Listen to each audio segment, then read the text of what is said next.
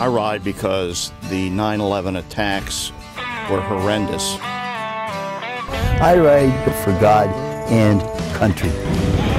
I ride because I want to remember those that gave their life for me.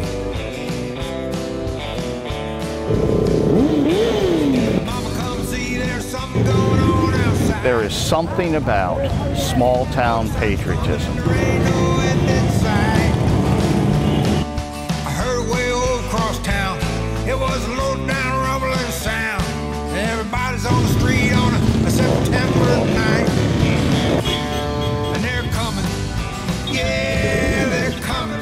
Knees in the breeze, that feeling of freedom. Wheels on fire, big engines running.